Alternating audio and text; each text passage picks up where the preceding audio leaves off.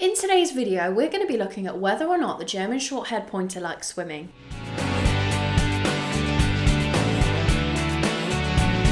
Welcome back to the Fenrir German Short-Haired Pointers show. If this is your first time here, my name is Charlie and I'm a certified canine leader here at FenrirCanineLeaders.com. This channel is dedicated to helping you learn everything you could possibly want to know about the German Shorthair Pointer, then how to become high-level canine leaders that can raise the perfect German Shorthair Pointer.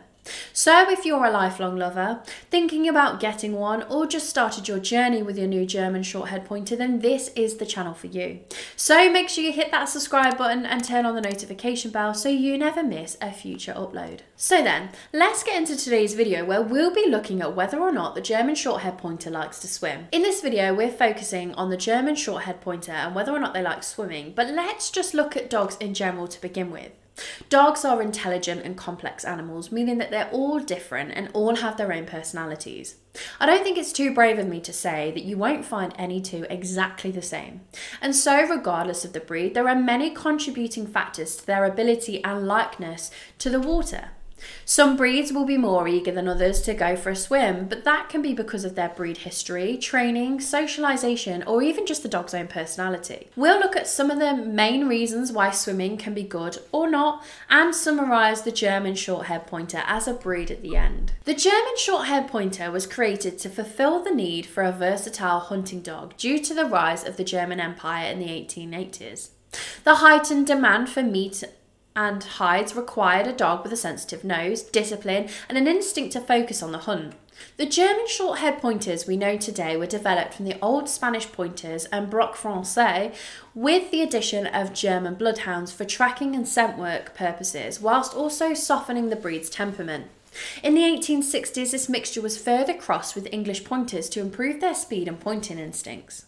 The end product was a sleek, intelligent, loyal, and versatile gun dog with an incredible stamina, a highly developed pointing instinct, and the eagerness to retrieve game. And the game they retrieved can be from land or water. The versatility of the dog doesn't just apply to their incredible land work, but also their confidence and strength to locate game in water, collecting it, and bringing it back to their owners.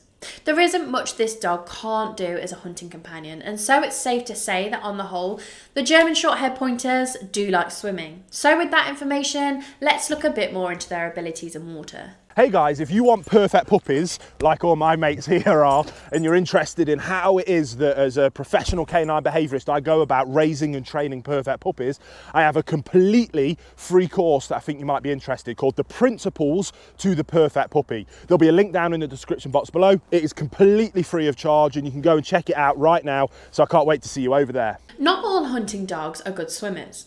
Some are better than others, and the German Shorthair Pointer is one of those better ones.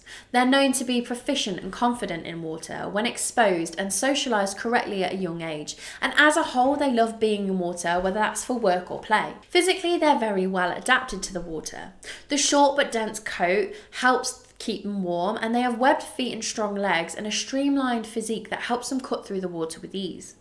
And due to their extremely high energy levels, exercising them in the water gives them that little bit more of a challenge over having a romp around a field. Whether they're just playing about with the family at the beach or working to retrieve a duck from the water, you can be confident in their ability. You can even incorporate water work into their weekly obedience if you have the environment nearby. Training a pointer to do what they're instinctively bred for is a surefire way to encourage their brain effectively and strengthen your bond with them. But just remember that dogs are individuals and so have their own individual likes and dislikes. But with confident and appropriate socialising in and around water, you can have a confident pup in no time. So let's do a quick recap. The German Shorthair Pointer is a hunting dog by design, efficient at retrieving from both land and water. They've accompanied hunters since the 1800s and are still one of the most popular hunting breeds today, and for good reason, as they're skilled in the water as they are on land. On the whole, the breed is made to be good in water. Their physical attributes make them streamlined and strong when retrieving from the water.